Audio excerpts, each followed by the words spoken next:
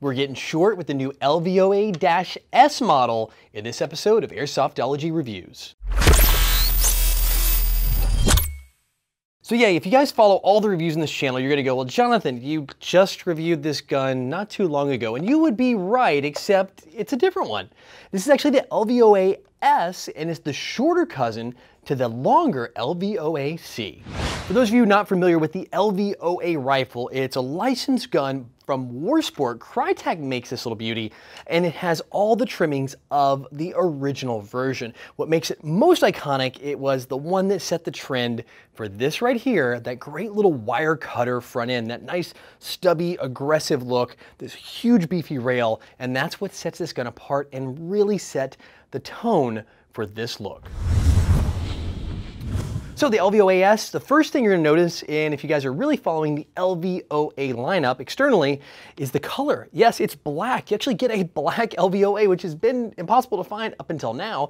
Before then, you had some special edition colors that certain retailers carried, like tan and gray, and of course, the iconic LVOA green color. Well, now we've got the black. So if you guys are fans of black rifles, you're set here. The difference is, too, the rail length. That's really it. Honestly, uh, the big difference between this and the LVOA-C, which it's kind of confusing because you would think C is compact, but C is actually the long one, S is the short one, is you get an 11.75 inch outer barrel and the rail goes and covers it up versus that 14 plus inch rail and barrel on the other version. So it is considered in the real firearms world an SBR. And the good news is you're not going to pay real firearms prices because a real one runs a hair under three grand. I mean, it is a super premium rifle. And of course, this being airsoft, you do get super premium rifle here too, but you're gonna pay just a fraction of that because, hey, it's airsoft.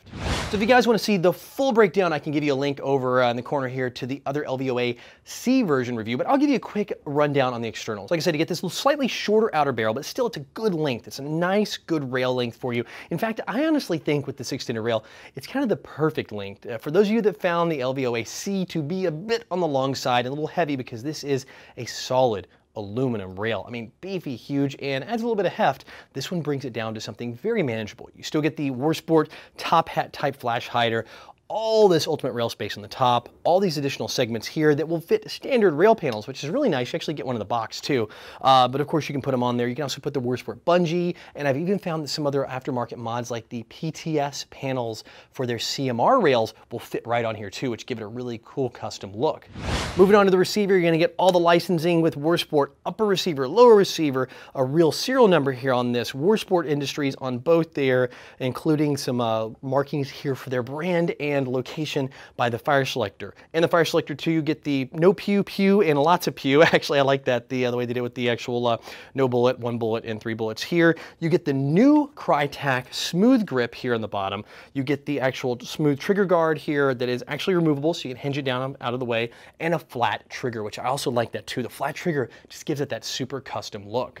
Moving on to the back, you get the iconic Krytac stock. Fits just about every battery you can find, especially lipos. You can fit a brick this way, you can fit a small buffer tube stick this way. You can fit the three type or the two type down in the side. You can really make it all work. And of course, under here, you do have the fuse, super easy to get to. And also to pop this rubber butt pad off, two little pull-up pins here. You kind of squeeze the tabs in, pull it off, and you can get there in a split second for battery changes.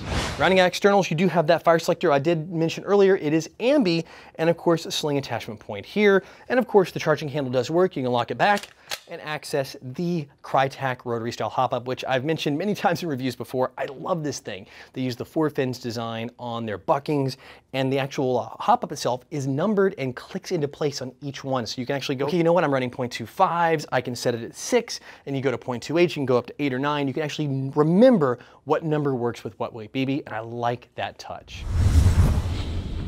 Under the hood, you get the Krytac built 8mm bearing bushings, that awesome kind of brassy, coppery colored mech box, quick change spring system, 30,000 RPM, super high torque motor, and I know they call it a high torque, I call it super high torque. It's probably one of the best stock motors in this industry, hands down, and of course, Krytac was the trendsetter for MOSFETs. Now, if you want to get really deep into internals and see all the bits and pieces, I'll go ahead and link a video up here in the corner for you guys that actually does a full teardown of the Krytac mech box, so you can really get nitty gritty on what's under the hood. But for all those who don't uh, want to go through all that, let me just tell you right now, it is some of the best internals in a stock gun in the industry industry. Taking to the chrono, you're gonna see a real high number. Now, I got an early sample, and I'll tell you, this thing's shooting a hair over 400. Don't let that scare you, though. I think it's gonna settle down. Brand new spring, first time shooting it. It's like the 406, 407 range. I think we're gonna see that settle back down to around 400 once that spring breaks in. Probably a hair under, which is just perfect. And remember, this is still a short barrel rifle, an SBR, so you can still maneuver in CQB with this thing, and that's a lot of punch. But remember, I did mention that quick change spring, so if you do have this thing a little hot for your indoor field and you guys need to turn it down, couple quick adjustments and you can get that spring swapped out to something a lot softer. So if you guys have been holding out for something a little shorter and a little less heavy than the Krytac LVOA C, which is the full length one, you want something a little more manageable, something kind of in that mid length. This thing isn't definitely not super PDW short, but I would say just about right.